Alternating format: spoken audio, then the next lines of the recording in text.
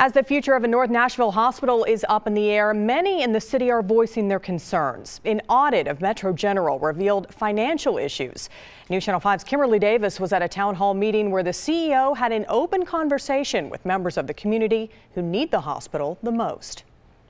We have to try to come together and, and stick together and try to keep this hospital open up. A desperate plea from the community Saturday morning, where dozens gathered in a town hall meeting to focus on the future of Nashville's Safety Net Hospital. We are the only hospital in the city that provides care to a patient population regardless of their ability to pay. Dr. Joseph Webb is the CEO of Metro General Hospital, and he was one of the faces in the crowd addressing concerns and taking questions during the town hall. Do I want this group to be able to ask the questions because I know they have some questions that they need answered. This town hall comes after Metro General Hospital was audited by Crosslin certified public accountants. In the report, it shows that the Safety Net Hospital doesn't have enough money to cover the expenses going out. The funding is oftentimes a challenge for us. The CEO says the funding provided by Metro is not adequate for its expenses, which is why General requests additional funds because it doesn't last for the full year, and in most cases, it never receives the full amount that is requested. There is no financial mismanagement,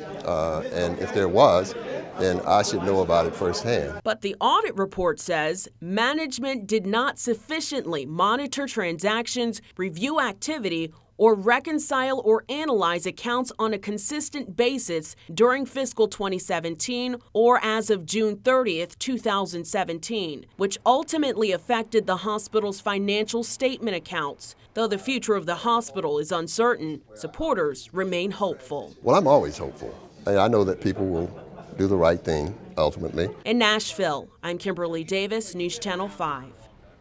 Mayor Megan Barry announced she would try to convince the council to turn Metro General into an outpatient clinic instead of a full service hospital.